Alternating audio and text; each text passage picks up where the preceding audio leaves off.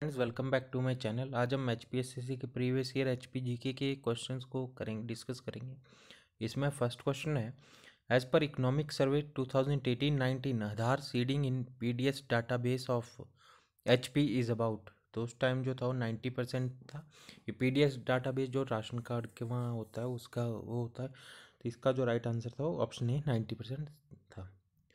Next question है the ownership and maintenance of primary school building in H P has been transfer to which of the following Himachal Pradesh में primary school बिल्डिंगों का स्वामित्व और रख रखाव इनमें से किसको स्थानांतरित किया गया है? तो ये जिला, ग्राम पंचायत को किया गया है। ऑप्शन सी इसका राइट आंसर है।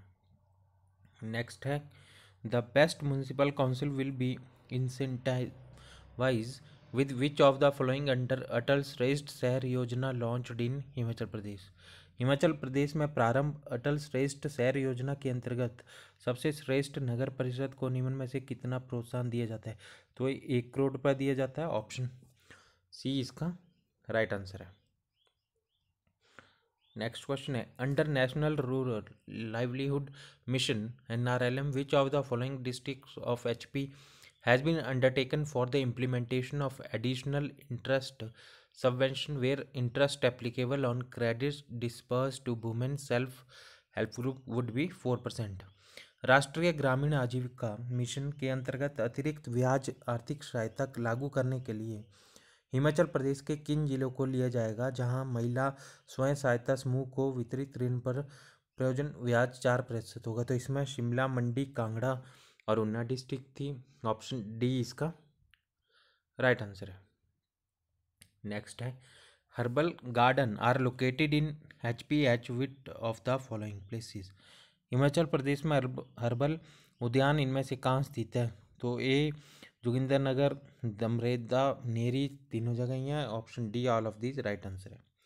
नेक्स्ट है the first person of H P who represented India in Olympic hockey was Himachal Pradesh का प्रथम व्यक्ति जिसने ओलंपिक हॉकी में भारत का प्रतिनिधित्व किया था तो एक क्वेश्चन पहले पूछा गया इसका राइट आंसर ऑप्शन है चरणजीत सिंह है।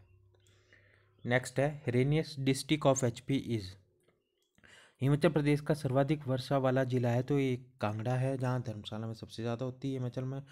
ऑप्शन ए इसका राइट आंसर है।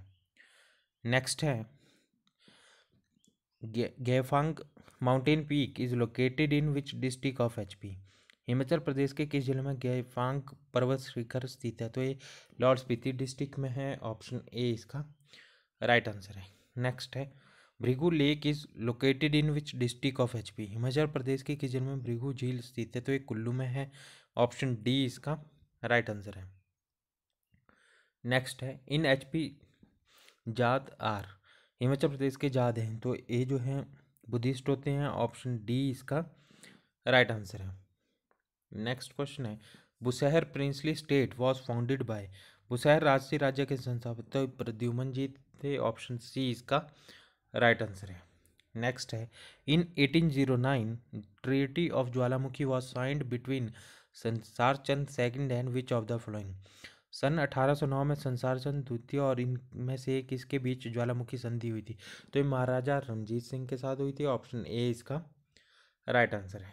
नेक्स्ट है Sirmaur Riyasati Prajamandal was founded in which year Sirmaur Raj Riyasati Prajamandal की स्थापना किस वर्ष में हुई तो नाइनटीन फोर्टी फोर में हुई थी ऑप्शन सी इसका राइट आंसर है नेक्स्ट क्वेश्चन है Gasota fair is celebrated in which district of H P Himachal Pradesh के किस ज़िले में गसोता मेला मनाया जाता है तो हमीरपुर में मनाया जाता है ऑप्शन ए इसका राइट आंसर है इस वीडियो का लास्ट क्वेश्चन है Himalayan polyandry book is written by. Himalayan polyandry पुस्तक किसने लिखी? तो एम एस रंधावा जी ने लिखी थी, ऑप्शन डी जो है इसका राइट आंसर है। तो फ्रेंड, अगर आपको ये वीडियो अच्छी लगी हो तो इसको लाइक करें और चैनल को सब्सक्राइब करें। मैं ऐसी प्रीवियस ईयर क्वेश्चन की वीडियो लेके आता रहूँगा जो आपको आने वाले एग्ज़ाम के लिए हेल्पफुल हो सकती है। Thank you.